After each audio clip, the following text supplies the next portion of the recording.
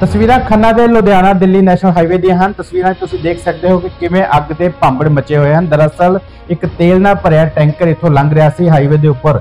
ਜਦ ਇਹ ਟੈਂਕਰ ਪਹੁੰਚਿਆ ਤਾਂ ਅਚਾਨਕ ਇਸ ਦੇ ਵਿੱਚੋਂ ਅੱਗ ਦੀਆਂ ਲਪਟਾਂ ਨਿਕਲਣੀਆਂ ਸ਼ੁਰੂ ਹੋਈਆਂ ਅਤੇ ਅੱਗ ਦੇ ਭਾਂਬੜ ਮੱਚ ਕੇ 100 ਮੀਟਰ ਦੀ ਦੂਰੀ ਤੱਕ ਇਹ ਅੱਗ ਦੀਆਂ ਲਪਟਾਂ ਉੱਠੀਆਂ ਹਨ ਅਤੇ ਇਸ ਤੋਂ ਬਾਅਦ ਹੁਣ ਫਾਇਰ ਬ੍ਰਿਗੇਡ ਦੀਆਂ ਗੱਡੀਆਂ ਵੱਲੋਂ ਇਸ ਤੇ ਕਾਬੂ ਪਾਇਆ ਗਿਆ ਹੈ। ਦਰਅਸਲ, ਦੱਸਿਆ ਜਾ ਰਿਹਾ ਹੈ ਕਿ ਹਾਈਵੇ ਦੇ ਉੱਪਰ ਅਚਾਨਕ ਹੀ ਇਸ ਨੂੰ ਅੱਗ ਲੱਗੀ, ਜਿਸ ਤੋਂ ਬਾਅਦ ਲੋਕਾਂ ਦੇ ਵਿੱਚ ਅਫੜਾ ਦਫੜੀ ਦਾ ਮਾਹੌਲ ਬਣ ਗਿਆ ਤੇ ਟੈਂਕਰ ਦੇ ਡਰਾਈਵਰ ਤੇ ਕਲੀਨਰ ਨੂੰ ਸਿਵਲ ਹਸਪਤਾਲ ਵਿੱਚ ਦਾਖਲ ਕਰਵਾਇਆ ਗਿਆ ਹੈ।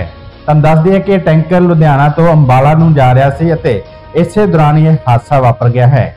ਇਸ ਘਟਨਾ ਦੀਆਂ ਤਸਵੀਰਾਂ ਹੁਣ ਸੋਸ਼ਲ ਮੀਡੀਆ ਤੇ ਵੀ ਲਗਾਤਾਰ ਵਾਇਰਲ ਹੋ ਰਹੀਆਂ ਹਨ।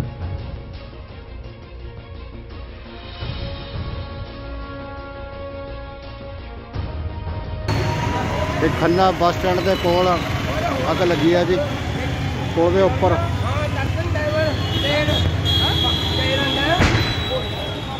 ਇਹ ਟੈਂਕਰ ਨੂੰ ਅੱਗ ਲੱਗੀ ਲੱਗਦੀ ਹੈ ਜੀ ਕਿਸੇ ਟੈਂਕਰ ਨੂੰ। ਪਟਾਕੇ ਪੈ ਰਹੇ ਨੇ ਪੂਰੇ ਅੱਗ ਪੂਰੀ ਫੈਲ ਚੁੱਕੀ ਆ ਭਿਆਨਕ ਅੱਗ ਹੈ ਪੂਰੀ।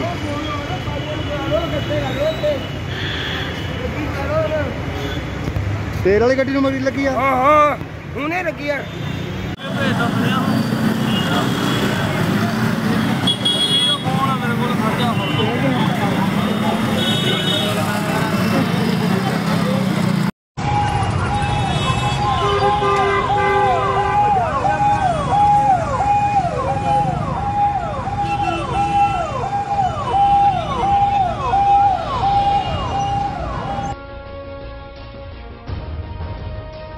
ਲੁਧਿਆਣਾ ਤੋਂ ਹਰਨੀਸ਼ ਕੌਸ਼ਲ ਦੀ ਰਿਪੋਰਟ ਪੰਜਾਬ ਟੁਡੇ